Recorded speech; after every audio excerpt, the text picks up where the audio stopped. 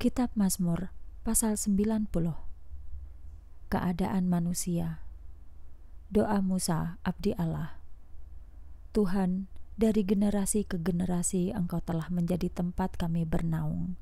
Sebelum gunung diciptakan, sebelum bumi dibentuk, Engkau adalah Allah yang kekal, tanpa awal dan tanpa akhir.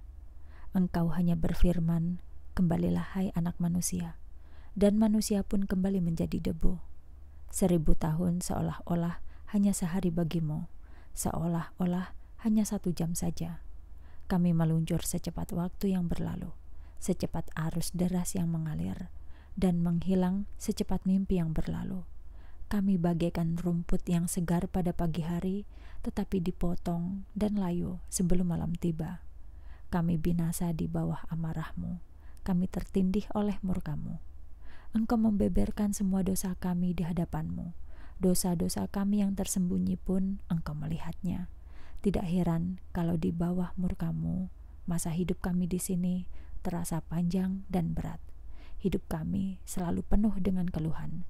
Kami diberi hidup selama 70 tahun. Beberapa dari kami mungkin hidup sampai 80 tahun.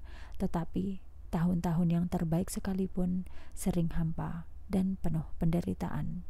Dengan cepat tahun-tahun itu berlalu dan kami pun lenyaplah. Siapakah yang menyadari kedahsyatan amarahmu? Siapakah di antara kami yang takut kepadamu sebagaimana layaknya? Ajari kami menghitung hari-hari kami dan menyadari betapa sedikitnya hari-hari itu. Tolonglah kami untuk menjalani hidup sebagaimana patutnya. Ya Tuhan, datanglah dan berkati kami. Berapa lama lagi engkau bertangguh? Hilangkanlah murkamu terhadap kami. Puaskanlah kami dengan kasihmu, supaya sejak muda kami selalu dipenuhi sukacita sampai akhir hidup kami. Berilah kami kegembiraan yang sebanding dengan kemalangan kami dulu. Gantilah tahun-tahun yang celaka dengan tahun-tahun yang baik. Biarlah kami melihat mujizat-mujizatmu lagi biarlah anak-anak kami melihat hal-hal mulia yang dahulu kau lakukan bagi kami. Dan biarlah Tuhan Allah kami bermurah hati kepada kami dan mengaruniai kami keberhasilan.